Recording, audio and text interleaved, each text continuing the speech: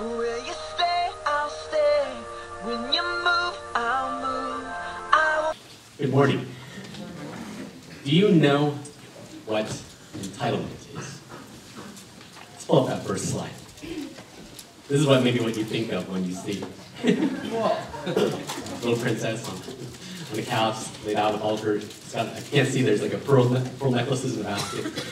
You know what entitlement is? Is the belief that somehow I am inherently deserving of privilege or special treatment. So you see it sometimes with celebrities in the news or, or even the kids of celebrities that because of their because of your status or because of your family, I deserve special treatment. I deserve respect. And so you'll see sometimes a celebrity in the news, like they're having this huge hissy fit. I wanted the blue straw in my drink, not the green one. Do you know who I am? Entitlement. And you can always recognize entitlement because it looks like this. I want something. I need it. I deserve it. Give it to me. And the tendency is for someone to take more than they give to other people. To feel frustrated and devastated when our own wants, our own needs are not fulfilled, yet we're very blind to the needs and wants of other people. Because it's all about me. Entitlement. Now, you know that entitlement can sub- subtly creep into how we view God or ourselves in relationship to Him. That there's a sense of spiritual entitlement. I had a conversation with a Christian man once, does not attend our church, but he was sharing with me that as he looks into other people's lives and compares himself to them, he was thinking out loud to himself or to me, you know what? God is unfair. Why do other people get the grades or the girl? Why do other people get the job or the joy? I go to church every week. I follow the rules. I give a little bit here. I serve a little bit there. God owes me. Why is he holding out on me? And you may not feel like that to that degree, but I know, like, when I think about certain things, when, like, last, a couple weeks ago, when we hear that there's nothing in all of creation that can separate us from the love of Christ, but then sometimes we look at the circumstances or the suffering in our lives. Have you ever asked, well, God, why are you being unfair? Or why are you being unfaithful? And I think that God wants to address that issue this morning. So let's look at Romans chapter 9. Very important passage. We're in this series called Overcome, where we're learning about how the gospel reveals the righteousness that comes from God to save both unrighteous, rebellious people the self righteous, religious people, which are all the same people, really, all together. And previously in chapters 5 through 8, you may remember that we learned about how there's hope and there's assurance in Christ that He ultimately will overcome our suffering and our sin in our lives as adopted, loved as children of God for our new identity in Christ, through a new power in the Holy Spirit for life today, as well as ultimately at the resurrection, a perfected and glorified body and spirit in eternity forever.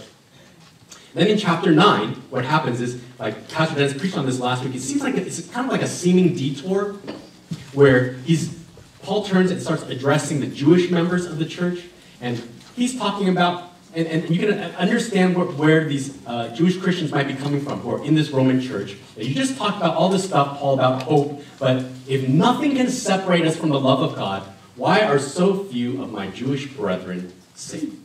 How come so few of them have come to faith in Christ? Aren't we supposed to be, as the people of Israel, the good news was supposed to be about salvation through Messiah that was supposed to be for us, as well as through us to the rest of the world? Has God's word, has God's promise failed us? And so Paul's response to that, no, that hope is still true. God is still in tr- control. In fact, he's always worked this way, even with the Jewish people in the Old Testament, as Pastor Dennis preached on last week, that God would elect certain people. Isaac over Ishmael. Jacob over Esau. And, and if you remember, so this is the big concept we're going to be talking about today, is election. And that idea that as sovereign Lord, that God chooses to save some people. But that makes us uncomfortable. Or should make you uncomfortable. It makes me uncomfortable. Because then it becomes like, well, is God being fair or is God being just if he just kind of chooses people who's saved and who's not saved? And Paul is addressing this issue because he's saying that the underlying issue for many of us is that we think we are entitled to something from God. Am I entitled to anything from God? Does God owe us something. And we're going to discover the big idea for this morning is that God's sovereignty in electing people for salvation is that it humbles those of us who are religious and gives hope to those of us who are rebellious. It is the answer to a sense of entitlement that we often have about God or against God when we feel frustrated with Him. So let's look at Romans chapter 9, verse 14. What shall we say then? Is there injustice on God's part? By no means, for he says to Moses, I will have mercy on whom I have mercy, and I will have compassion on whom I have compassion. So that it depends not on human will or exertion, but on God, who has mercy. For the scripture says to Pharaoh, For this very purpose I've raised you up, that I might show my power in you, and that my name, God's name, might be proclaimed in all the earth. So then he has mercy on whomever he wills, and he hardens whoever he wills. So, is God unjust in sovereignly electing some people for salvation and not other people? In verse 15, Paul quotes from Exodus chapter 33, verse 19, where God declares, I will be gracious to whom I will, will and I will be merciful to whom I will. And when we read that, well, it seems like, well, is God just kind of being arbitrary or fickle in who he chooses to, to put his mercy on? But let's give you the context of Exodus chapter 33. See, you have to remember, that's, that was exactly at that moment, that was when Moses had been spending time up on Mount Sinai, face to face with God, and he was there up there for a long period of time. And the Israelites decided, well, I don't think that Moses is coming back. Now, we have no God to lead us, no God to protect us, so let's make some of our own. So they made golden calf, and God's judgment on them was that it seems to me like you want the blessing more than you want the blesser, him God. So we're going to go our separate ways. That was his judgment. I'm going to separate my presence from you. You're going to be separated from the presence of God, which is always the cost of sin. That's what that, that's what hell is, separation from God. But in Exodus chapter 33, Moses pleads on behalf of his people, and God relents. God and says that I will be gracious on whom I will be gracious, and I will show mercy to whom I have mercy. So the context of the passage that Paul is quoting from is that what Israel is actually entitled to is separation and judgment, not joy and salvation. God doesn't owe them anything. And so when he exercises his sovereign right to show mercy on whoever he wills, that is an act of grace. And that's a very biblical word, but that means that God is showing unearned, undeserved favor, the favor of God on the people of Israel. And Paul's whole point is that for the Israelites at Mount Sinai, for the Roman Christians who are receiving this letter, for us today, that all of us, like the Israelites at Sinai, deserve judgment and separation from God because of our sin. So when God shows his mercy to save anyone, that we're all undeserving people, just like us, that that is an act of grace. In verse 16, then Paul says, You're not saved, therefore, by your human will or exertion, but only by God and his sovereignty, who in grace who chooses to show mercy. And that's good news for us because that means that salvation isn't dependent on being born into the right geography or the right family. Like you don't have to be in Israel or in not because you were born an Israelite or born in the church. It's not based on your ability or your accomplishment. It's not if you're Jewish enough or good enough. And your salvation is not dependent on any of those things. So in verse 17, he switches gears a little bit and explains it from a different angle, moving from the oppressed people, Moses and the Israelites, and starting to talk about the oppressor, um, Pharaoh. And so Paul quotes from Exodus chapter 9, verse 15 through 16, and he says, Look, take Pharaoh for minute, okay? God could have destroyed all of Egypt and Pharaoh and freed the Hebrews anytime. But instead, the very reason I created and elevated Pharaoh to power was to show God's own power over evil. That it would be proclaimed to the world his mercy to, live, to deliver people out of sin and slavery and death. And I want you to pay attention to this because the point here in verse 18 is that as God, he's saying, I have the right to show mercy to some people and harden the hearts of other people, but it's all to accomplish his good purpose, to display his amazing grace, that he would save anyone at all because nobody deserved it. No one deserves to be saved. So the point of this section is that God's great mercy in election would give us hope give hope to hopeless people just like us. And I want to tell you, based on this passage, that God is unfair, but he is not unjust.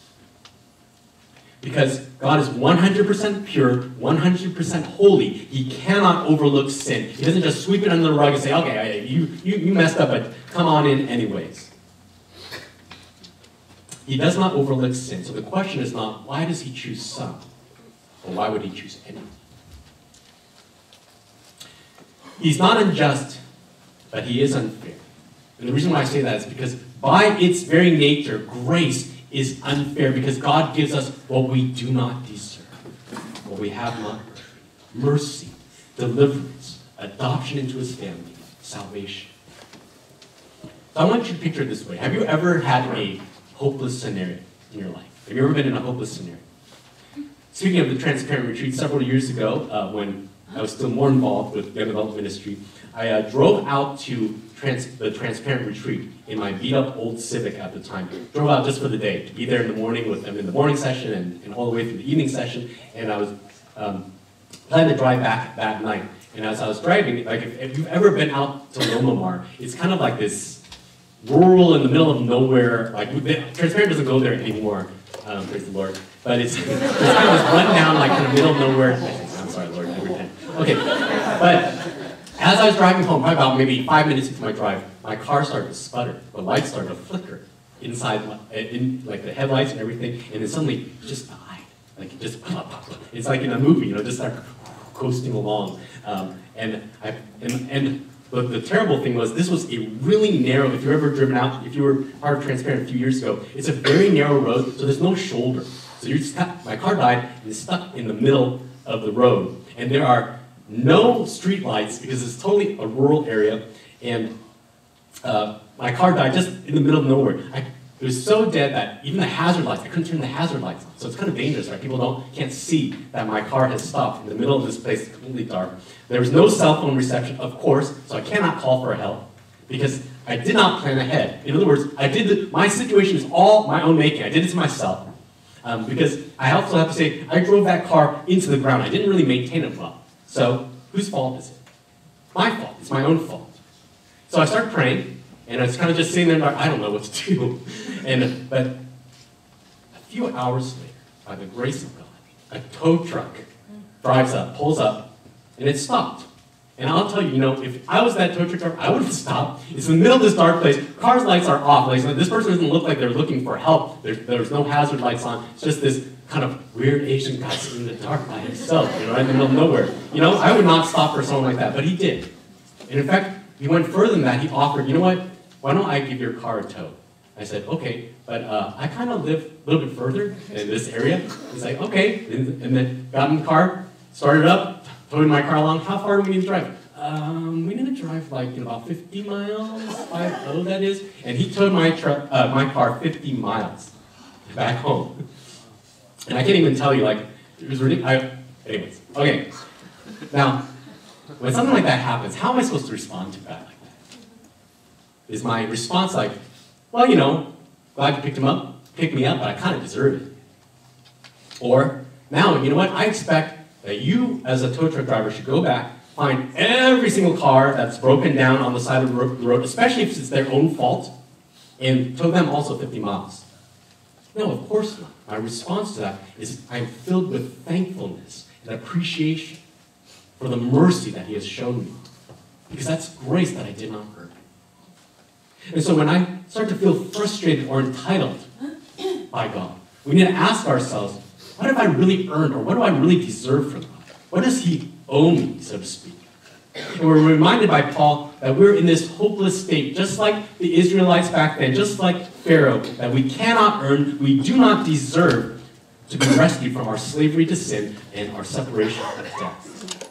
But there's a hopeful promise that though we are unable to save ourselves by our ability and our accomplishment, that if God has put any conviction in your heart to turn from sin to Jesus, that He has put that calling into your heart, that you can receive mercy by the sweet grace. His great mercy gives us hope for people who don't deserve hope. Let's move on. Verse 19. You will say to me then, why does he, God, still find fault? For who can resist his will? But who are you, O man, to answer back to God? Will what is molded say to its molder, Why have you made me like this? Has the potter no right over the clay to make out the same lump, one vessel for honorable use and another for dishonorable use? What if God, desiring to show his wrath and to make known his power, has endured with much, much patience vessels of wrath prepared for destruction, in order to make known the riches of his glory for vessels of mercy, which he also has prepared beforehand, but for glory. So let's stop right there.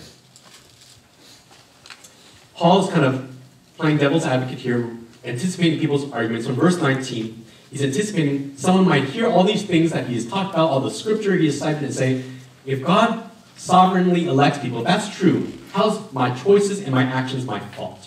It's not like anybody can resist the will of God, right? In other words, we ask, who's really to blame then for this? Since God is all powerful, sovereign, and in control, then isn't it his fault, not mine, I reject him? And Paul says in verse 20, he's, he, he quotes from scriptures, Who are you, O man, to answer back to God? That's from the book of Isaiah he's quoting. In other words, if you respond to God's election and His mercy, that God, I don't think you're right on this one. It is wrong. You are wrong. What you're really doing is planting your feet, shaking your fist at God, and saying, God, you are not right, you are not righteous, you are not good. And Paul's pointing out the seriousness and the sinfulness of our human pride in demanding of God, who do you think you are, God? Well, what we need to do is look at ourselves. Who do I think I am before the living God? And verse 21 sharing God's response, Paul pulls from scriptures again. He quotes from Isaiah chapter 29, verse 16, which talks about how God is like a potter, and we are like the clay, and that we're all the work of his hands. And just like an artisan who's shaping the clay, that he has the right to, to, to determine if the destiny of that clay vessel is for salvation or separation. And as creator, creator. He's not just a little bit smarter or a little bit stronger than us. Like a lot of times we think of God as if, well, I have a bachelor's degree and he has a PhD, so he's a little bit smarter than me. Mostly, he's mostly right. Sometimes he might need my help in order to see his blind spots. No, he knows all. He rules and reigns over everyone and everything. He does not make excuses or apologies for the choices that he makes because he doesn't have to. He's sovereign. He's good. And so, what does the potter do with these clay vessels in verse 22 and 23? Some receive God's wrath, and some receive God's mercy. Now, I want to define those terms because you remember we talked about how wrath, what that means in the Bible is that God ex- exerts his just anger and judgment against evil. And of the purpose, Paul says in this in verse 22, is to make known his power. So it answers the question, is God unjust? And here's how he answers. If you look at your life and you look at the world around you, you see evil that is persisting in this world, you might ask, why doesn't God fix it? Does he fix it because he's unwilling or because he's unable? And Paul answers that, no, he's not unjust. He's just patient. He's enduring the sin and scorn of people. But he plans to ultimately use his justice, his just anger, and his just judgment against evil so that you and I will know that he is willing, he is able, and he is just. And that should give us great comfort when we suffer at the hands of other people.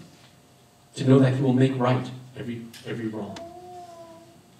And then there's others who receive God's mercy, the undeserving forgiveness and acceptance and salvation of God. And Paul says the purpose of that is to make known, there's that phrase again, the riches of his glory in Christ that we would be in the presence and joy of God forever, that we're going to be freed from the, the presence of sin and suffering forever, that we get to live in resurrected, perfected body and spirit forever. And it is glorious, a reflection of God's glory. And so the point here is that God's sovereignty in election also reveals his glory. That God's mercy in election gives us hope, but God's sovereignty in election reveals his glory. In other words, it puts on display for all to see his powerful justice in wrath, as well as his amazing grace in mercy, and it should make us all be in awe of him. It leads us to glorify him. I remember before I became a Christian, I attended a uh, church retreat for this church because some, some of the Christians at this church invited me to come. It was uh, December of 1991. And I remember the last night of the retreat. I've been hearing these simple uh, messages about sin and suffering, and many of you have heard me talk about this before. It was, I felt bad. I feel, look in retrospect, I feel bad for all the church leaders that were there because, you know, during the worship time, everybody's standing and singing and clapping. I just sat there with my arms folded, just kind of glaring at the worship team, you know, with that kind of this, this, Christians are so lame. And during the messages, I would sleep the entire time. During the small group time, discussion times, I would argue with the small group leader. In fact, the, the small group leader happened to be a pastor. And I was arguing with him why Christianity was stupid and this, that, and the other. But by the end of the retreat, that very last night, I was starting to ask that question what if this is true? And so I remember my first genuine prayer went something like this God, if you're really there, I need you to show me that I'm really a sinner, that I'm really an object of wrath. Because I don't, I'm, I think I'm a pretty good person. I'm pretty good, not bad. My, at least in my mind, my, the good that I do in my life outweighs the bad in my life, so I deserve to be saved. That's how it works, right? I saw myself as the hero of my own story. And what I can only describe as the conviction of the Holy Spirit was that suddenly this stream of thoughts started going through my mind, and it was a list of sins. And I knew it was God because I didn't consider those things sin. And Josh, when you tell these little white lies to protect other people's feelings, it's still a lie. When you are busy getting high all the time, every day, it's not just a personal preference. I made you. Your body belongs to me. I made you to reflect my image, and you treat it poorly. When you dishonor your mother by cussing her out, that's sin. When you steal from your job, it's not just that it's a big corporation and the man trying to keep you down, that too is sin. When you use people to get what you want, that that is sinful and selfish. When you use women to gratify your emotional desires or your sexual desires, that's not love, that's sin. And the list just kept going and going and going. This list would not end. And it turned out that I'm not the hero of my own story. I'm actually the villain. That I'm enslaved and addicted to self-destructiveness and self-centeredness, and I needed rescue. I'm not the hero of my own story. God is. And as that list kept scrolling through my mind, I was actually so overwhelmed by the presence, the holiness, the glory of God that I began to weep uncontrollably. I had to ask God to stop. The moment I asked Him, silence. But it left me trembling in the presence of God. You see, when you catch a glimpse of God's glory, as He reveals His justice as well as His mercy, it overwhelms us. It should bring us to our knees in worship of Him.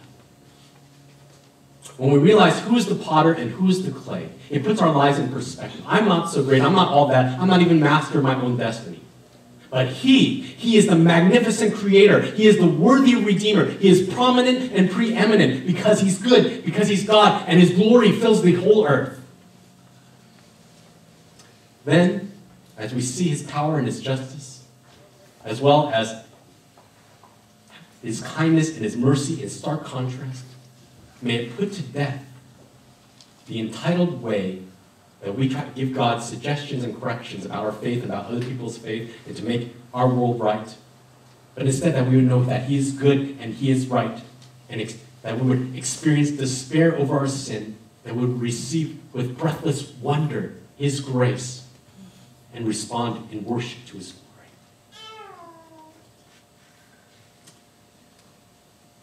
Let's wrap up. I'm going to Go back one verse, verse 23 and read onwards. In order to make known riches of his glory for vessels of mercy, which he has prepared before him for glory, even us, this is where we're picking up, verse 24, whom he has called, not from the Jews only, but also from the Gentiles.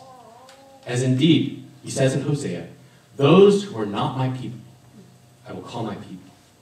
And her who was not beloved, I will call beloved. And in the very place where it was said to them, You are not my people, there they will be called sons of the living God. And Isaiah and Isaiah cries out concerning Israel, though the number of the sons of Israel be as the sand of the sea, only a remnant of them will be saved. For the Lord will carry out his sentence upon the earth fully and without delay. And as Isaiah predicted. If the Lord of hosts had not left us, the Jewish people offspring, we would have been like Sodom and become like Gomorrah. What a weird way to end this passage, right? Well, let's talk about what this means. Verse 24.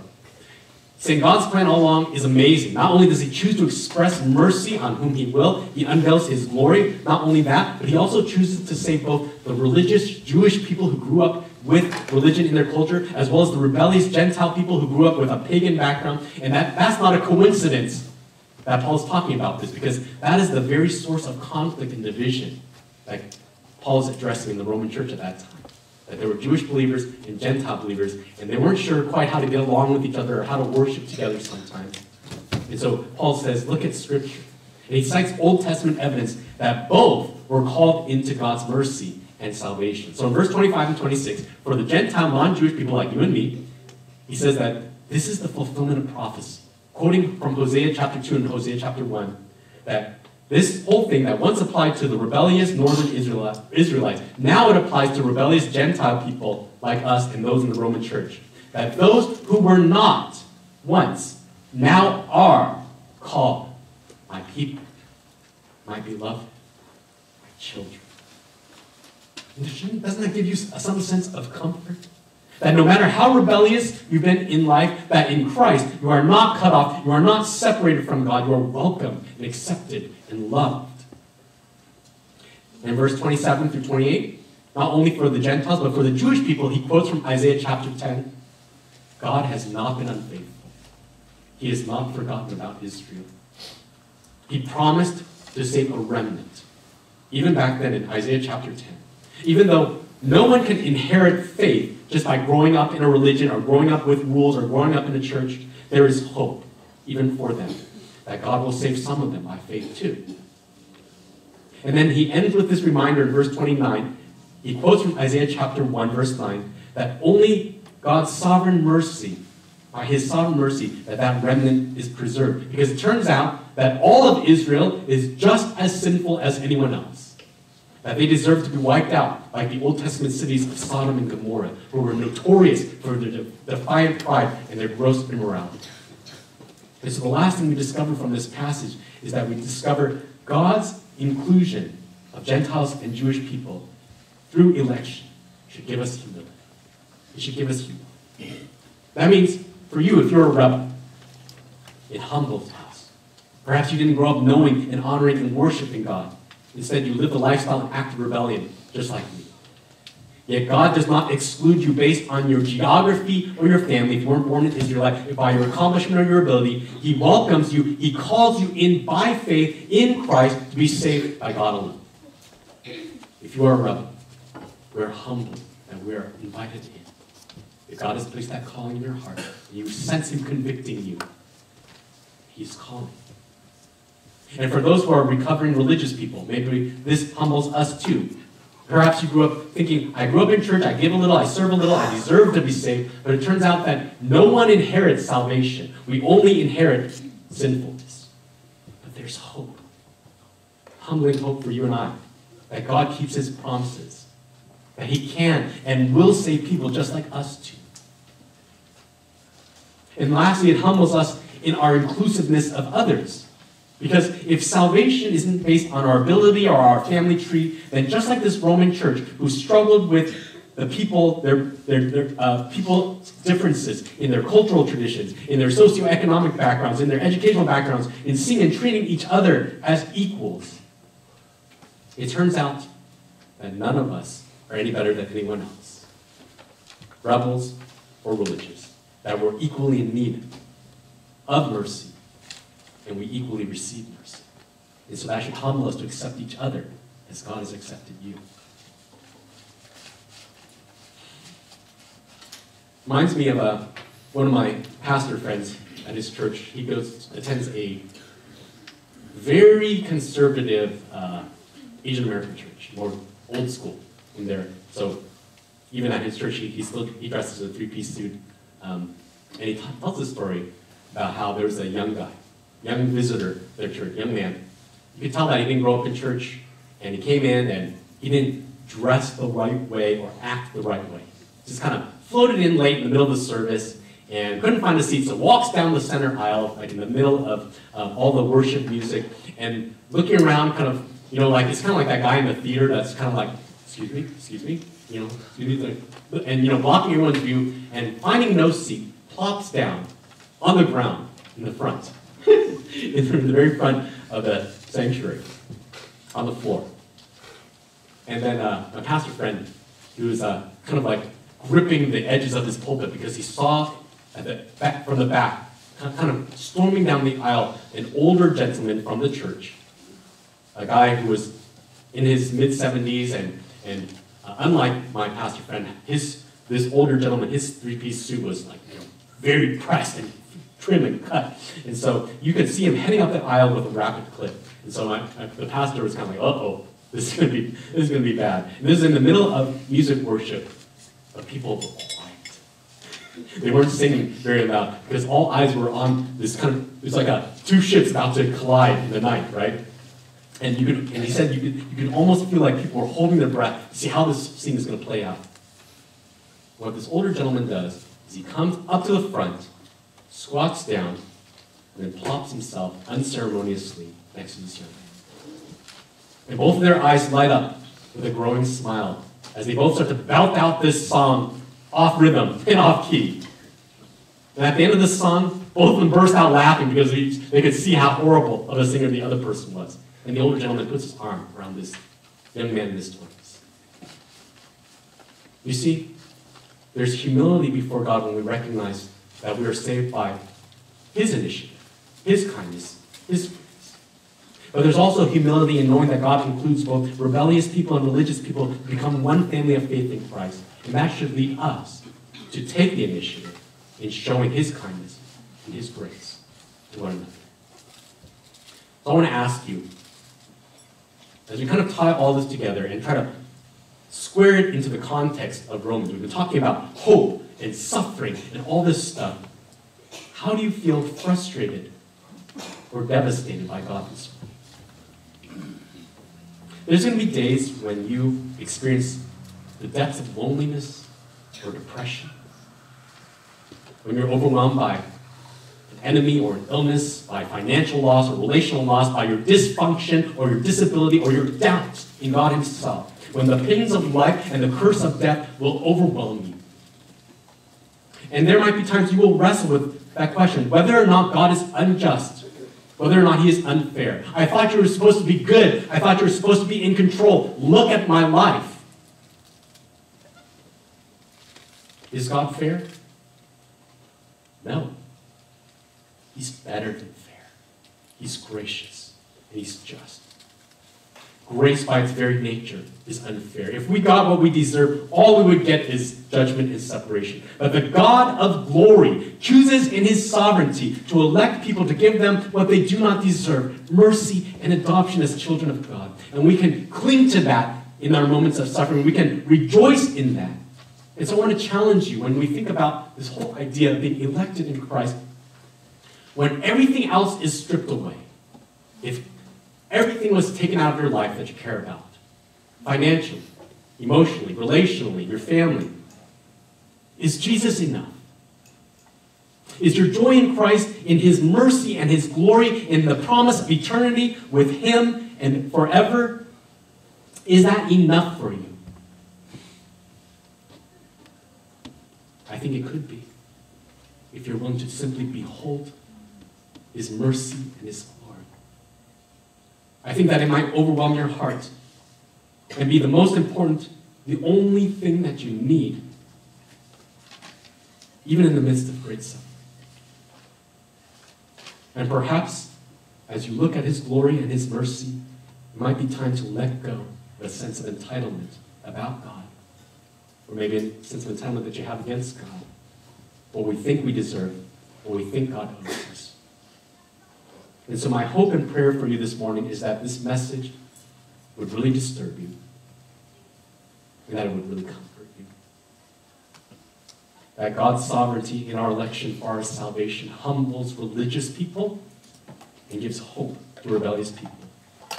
May His mercy produce wells of hope in the living Savior. May his sovereign glory lead you to worship Him as sovereign Lord. And may His gracious inclusion humble you before Him and in how we treat one another today. Let's pray. God our Father, we thank you for this passage. This is a really rich, deep passage, but also painful. And I know that you are doing a spiritual surgery on our hearts, on my heart this morning.